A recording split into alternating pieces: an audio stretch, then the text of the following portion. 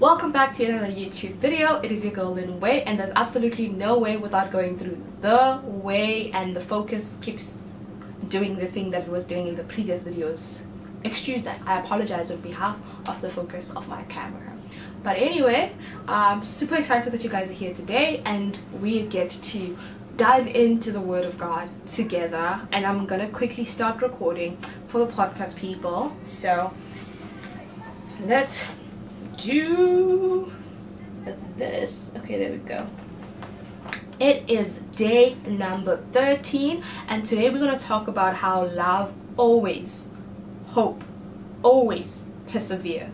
I love this so much because to hope is to keep the faith regardless of the circumstances, which goes in hand in hand with perseverance. Like when you have hope, you most likely are going to build perseverance in your heart, in your life, in your mind. And to continue in a course of action, which is what basically persevere means, and even in the face of difficulty or with little or no indication of um, success. And the scripture that I want to read for you guys, um, the camera is just not focusing. I do not know why. There we go. Uh, stick to me. Here we now we are together. Yes. Um, so to continue in a course of action even in the face of difficulty or with little or no indication of success. And I felt really crushed by this definition because it means that even when I do not see like the success even when I do not see the victory even when I do not see the greatness to like I do not see it but I hope to see it. Like even though I can't see the light at the end of the tunnel I hope it's there um, and that's like our faith walk. That's something like because faith is the substance of things hoped for and, and the evidence of things not seen. And it means that we are believing in the things that we cannot see we cannot physically touch. And the scripture that i want to read for you today is found in james uh, 1 verse 2 an amazing scripture. I love it. And it speaks about how um, Consider it pure joy, my brothers and sisters, whenever you face trials of many kinds, because you know that the testing of your faith produces perseverance. And I love the scripture because it reminds us that there will be difficulty and we will struggle to love one another. But there is light at the end of the tunnel called hope, and that is faith, and that is just desiring to see the good in people even when there is no version of the good in people. Like i say this because like i've met really difficult people in per like difficult people in person and as a believer i've really tried to be nice and it's tough. It's really tough.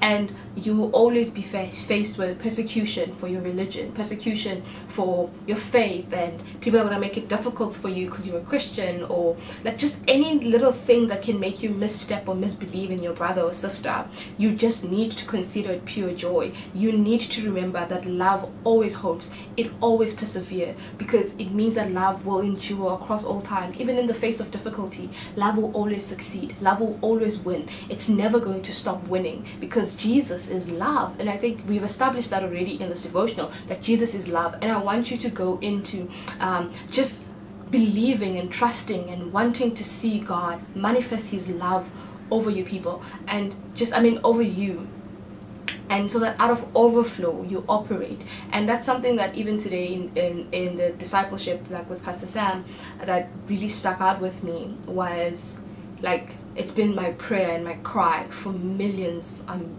trust me say millions of years i'm exaggerating of course but it's been my cry for a long time to genuinely out of everything in me that when i serve god that when i give myself to god that i do it out of overflow that i do it out of grace that i do it out of love and never out of obligation never because i have to because i must do it. And that's the same way that I approach my leadership that it like every single thing that I speak on my YouTube channel every single thing that I speak on my Instagram on my Facebook uh, I don't even have Facebook but like on my um, TikTok it comes out of overflow with intimacy with God.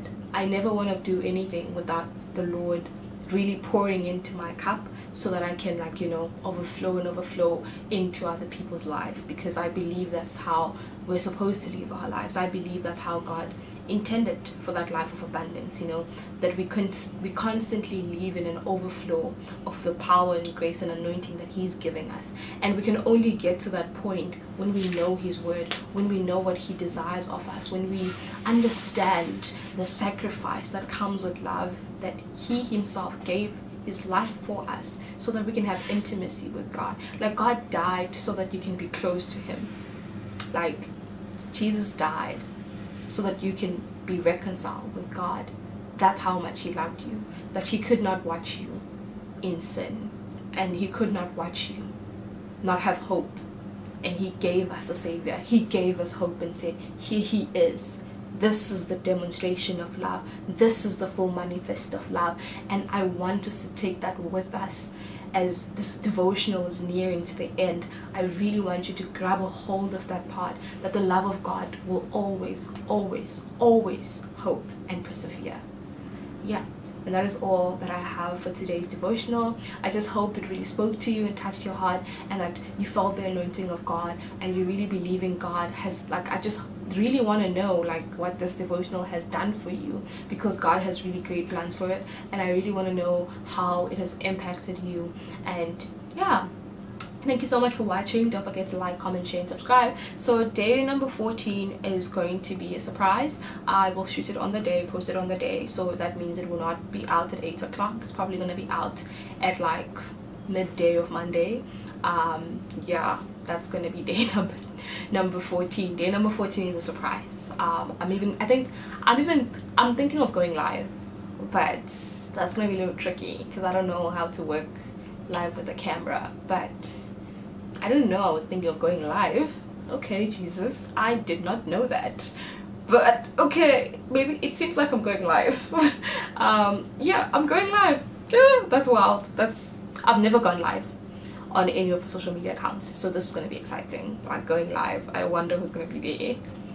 Hmm, yeah, I might even have a Q&A. That that would be fun. I would do that anyway thank you guys so much for watching like i said don't forget to like comment share and subscribe and i'll see you guys on my other youtube videos bye and yeah don't forget to check out the full devotional on the love is podcast that is on youtube and then check it out just like check you know follow me on my social media accounts which is my tiktok and my instagram. On instagram it's lynn underscore way underscore and then on tiktok it is lynn way on tiktok. Just one word small letters everything. Yeah and that is all. On my inst on my youtube it's just lynn way. Yeah should probably just pop up there. Thanks for watching. Bye bye